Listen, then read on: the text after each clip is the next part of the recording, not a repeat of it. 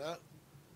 හැබැයි ඒක වැරද්දක් වුණා අපේ අතින්. ඒක මම පිළිගන්නවා. අපේ අතින් කියන්නේ අපි අතින් නෙවෙයි ඒක ගෝඨාභය රාජපක්ෂ ජනාධිපතිතුමා වැරදි උපදෙස් දුන්නා මේ රටේ ඉන්න වෛද්‍යවරු වැරදි උපදෙස් දුන්නා මේ රසායනික පොහොර නිසා රසායනික තෙල් නිසා තමයි මේ රටේ වහුගඩු අමාරුව තියෙන්නේ. වහුගඩු වලින් සිය ගාණක් දහස් ගාණක් මිය යන්නේ. පිළිකාර රෝගය හැදෙන්නේ. ඊළඟට හඳුනා රුගත් රෝග වලින් මිනිස්සු මිය යන්නේ.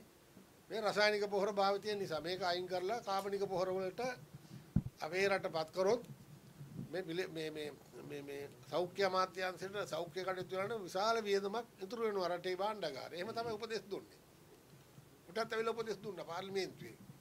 පළවෙනි කාමරේ ඩොක්ටර් පාදෙනිය සහ වෛද්‍යවරු පිරිසක් ඇවිල්ලා මන්ත්‍රීවරුන්ට උපදෙස් දුන්නා. ලෙක්චර් කරා.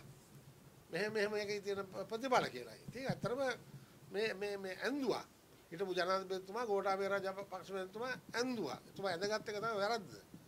ඉතින් ඒ නිසා ඒ රටේ තිබ්බ ප්‍රශ්න ඩබල් වුණා.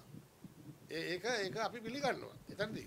ඉතින් ඒ ආරෙන්ට වරද්දක් කරලා නෑ අපේ අපේ ආණ්ඩුව වරද්දක් කරලා හිතු මතේට අපි කියන දේ ඇහුවෙත් නෑ ගෝඨාභය ජනාධිපතිතුමා ඇත්තම කතාව අපි කියන්න ඕනේ.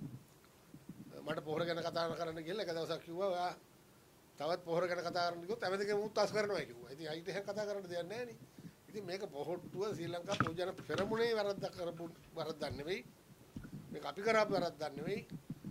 මහින්ද රාජපක්ෂ ජනාධිපතිතුමා කරපු වරද්දක් නෙවෙයි. බැසිල් රාජපක්ෂ මහත්මයා කරපු වරද්දක් නෙවෙයි. රාජපක්ෂලා අනිත් රාජපක්ෂලා ඒ රාජපක්ෂයන් කරපු වරද්දක් නෙවෙයි. අපි කරපු වරද්දක් නෙවෙයි. ඉතින් ඒ නිසා අපි ඒ පිළිබඳව කනගාටු අපි වෙනවා.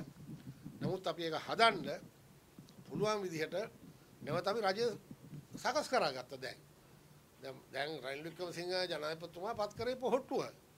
අපි තමයි එතුමා පාර්ලිමේන්තුවෙන් ජනාධිපතිවරයාට පත් කරත් බහුතරය අපි ලබා දුන්නේ. අපි තමයි යෝජනා කරේ. අගමැතිතුමා පොහොට්ටුව එතුමා තමයි යෝජනා කරේ. ස්ථිර කරේ අපි.